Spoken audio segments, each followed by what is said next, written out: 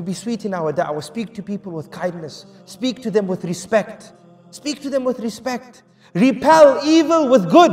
Allahu Akbar. Even if they speak against you, repel that with goodness. And this is the third point that I want to share with you from the da'wah of Ibrahim. Because when his father spoke to him harshly and said, If you don't stop, I will stone you and get away from me. Right?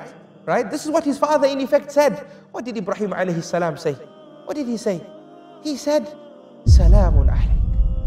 He repelled that evil with goodness, with that which is ahsan and better. If somebody called you names, address them with sweetness. Repel that evil with goodness. And this is the third lesson from the ayat which we learned. Ibrahim alayhi salam teaches us how to maintain our values and maintain our akhlaq and maintain our character. My father just scolded me. He told me to get away. He's threatened to stone me. How scared must I feel? But immediately I will still never lose my values with regards to me and my father. Thus he says, Salamun alayk. Peace be upon you. And not only that, I will be good to my father. سأستغفر لك ربي. I will ask Allah to forgive you. Allahu Akbar. he wants to be dutiful to his father. And yes, Ibrahim did seek forgiveness until Allah subhanahu wa ta'ala taught him that his father is destined for the hellfire.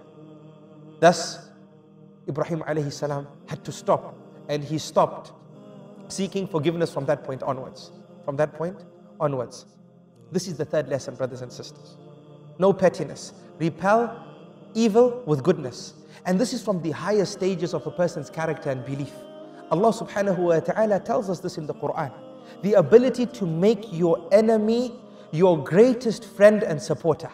He says, ادفع بالتي هي أحسن فإذا الذي بينك وبينه عداوة كأنه ولي حميم الله أكبر Allahu Akbar.